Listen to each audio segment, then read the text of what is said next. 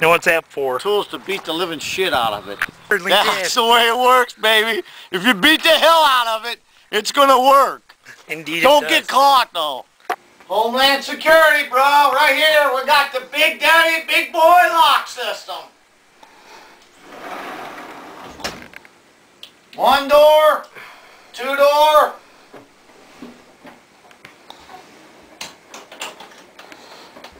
Three door. Game over. Home, Homeland Security 101. Right here.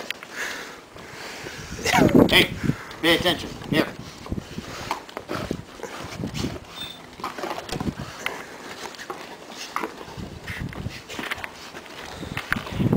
The jaws of death.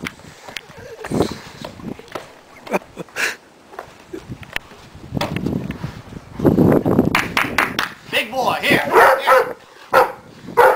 Come here. Copper, where you? Right here. Got Big Daddy right here, about 150 pounds right there. Look at these teeth, bro. Look at them teeth. Look at them. Look at them babies, man.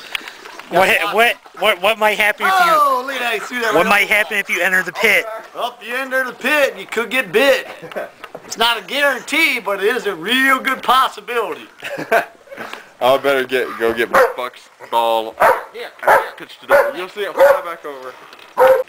If that doesn't hold him back, hold on. I'll show you what else we got. Oh no.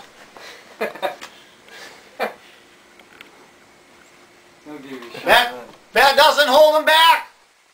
We got the coach gun. Boom, boom. Oh no. Yeah, Bob. I don't kill them. I eat them.